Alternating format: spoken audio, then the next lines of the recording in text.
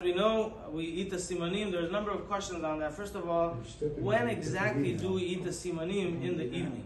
Do we eat them uh, after uh, kiddush, before hamotzi? Do we eat them after hamotzi? There are a number of variations in the minhagim, uh, but uh, for us, we eat them after hamotzi, meaning to say you say hamotzi lechemina aretz.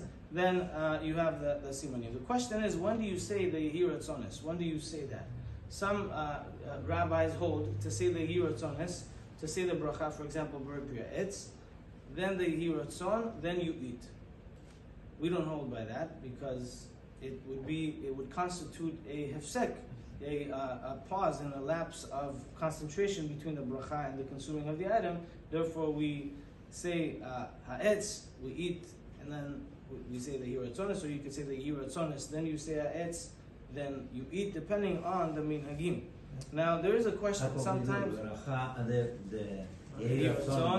Oh, so, so uh, as long as the bracha and the eating of the item are, uh, are, are, immediate. Now, there is an opinion sometimes when you bring, for example, maybe pomegranates you didn't have yet, yet, this year, and so uh, you have a shechiyana. Now the question is, uh, says Rav Shlomo Zalman Auerbach, he says, beautiful question, you know, when you, if it's in front of you on the table, right? Now you're going to say shechianu for the kiddush of Rosh Hashanah would it also include the shechianu of uh, the, the, the fruit that you have not yet eaten? So he gives an advice that uh, if you're worried about that, either cover it or put it on the side, and only after kiddush you bring those items that are shechianu to the table. Uh, but also you can tell yourself that you're not having kavanah on that, Yeah. and you only when you say kiddush, I'm only thinking shechianu on the kiddush itself. When you say shechianu on kiddush, it's on the holiday itself. That you have reached that milestone of the holiday, and you're not. Uh, Should have that kavanah for the second night for something new to say Shechianu. Oh, now on the second night, very nice. It's good to bring a, uh, like the Ben Ish Chai says, it's good to bring uh, fruit to the table. Anyways, you're saying shechianu on a kiddush, but uh, you have kavanah on that. That's very, very.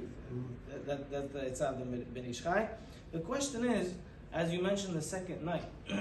do all communities and all rabbis hold that you should recite that the Yehi Ratsones on the second night or only on the first night? So there's a number of variations on it. the Ben and the Ben Yehoyada brings that what does the Gemara say? Yehi Ragil, a person should be accustomed to bring the simanim and have the simanim on Rosh Hashanah. So when you say you're accustomed, that's not one time. That's a repetition to have a custom.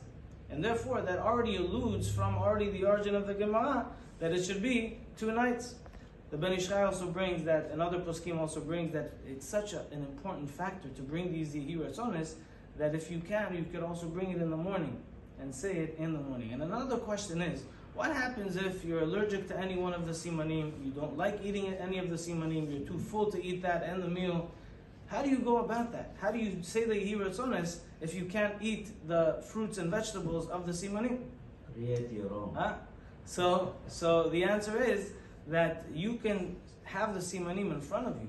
You could say the hiratzonis uh-huh. without saying the beracha of maybe a etz or adama.